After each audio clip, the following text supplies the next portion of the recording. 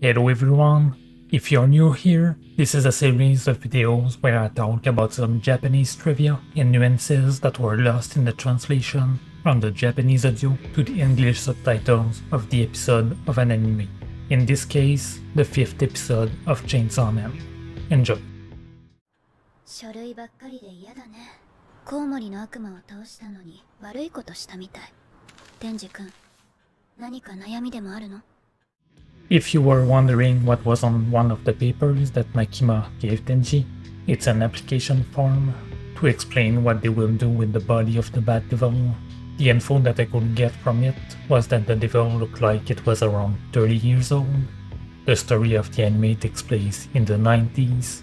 They will convert the body in energy to use as bait for other types of devil, and that it's the first division that will take care of this.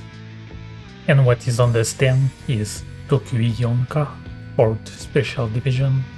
This is used to sign paper on the Shirushi mark. 天智くんは何の話をしているの初めて胸を揉んでみたら大したことなかったって話です天智くんエッチなことはね相手のことを理解すればするほど気持ちよくなれると私は思うんだ Just a bit of nuance. Makima says ecchi, and this can be interpreted in a more general sense for anything lewd. Bonus trivia Ecchi is the Japanese pronunciation of the letter H that comes from the first letter of hentai, which in this context means sexual perversion or pervert. なんかよくわからないけどなんかよくわからないくらい強いやつですね 天智くんなら倒せると思う俺がすっげえドカンと頑張れば大丈夫いでしょ For those that were wondering what the original line was, what Denji said was Daijobui. This comes from mixing Daijobu, which in this context would be something like all's good, and the letter V. In Japan, the peace sign is often viewed as showing the letter V or victory. やっぱり獣野郎の肉片食べてたか雑魚悪魔にしちゃ強かったからな A bit of nuance. When Himeno talks about the Gun Devil, she says Juyaro. This could kind of be interpreted as the Gun Bastard or something similar to that.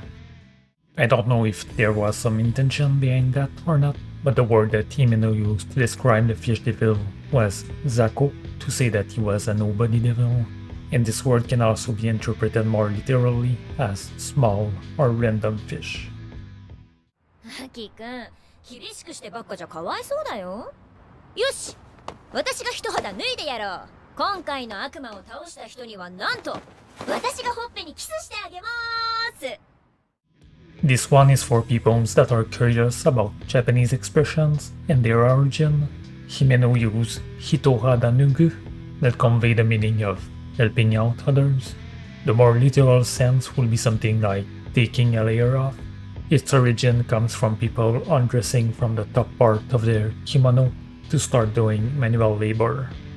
It then became a symbol of getting ready to help out someone.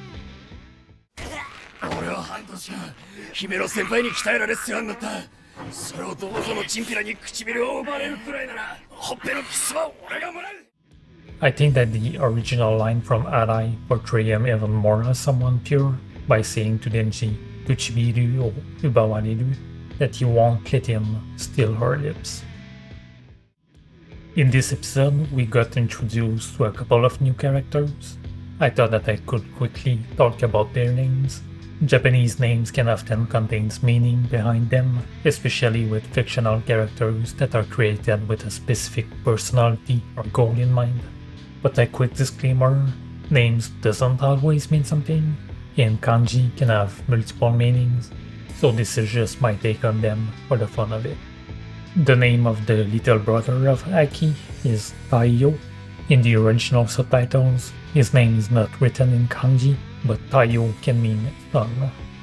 Himeno is written with the characters for princess and plains. Arai is written as rough and well. For Kobeni, her name is not using any kanji, and is not a word, so I'm not sure if there's any meaning behind it. The only thing that I could think of is Kobeni, Child, and Crimson Rouge. Not sure if this is gonna be relevant, but we also saw the name of the hotel that they go to, and it's called Hotel Moline. This could be the word for a luxuriant forest. That's it for this episode. If you like that type of videos and want more of them, you know what to do. I also have other series of videos similar to that for other animes if you want to check that out. But anyway, it's the end for this episode, and I'll see you next week.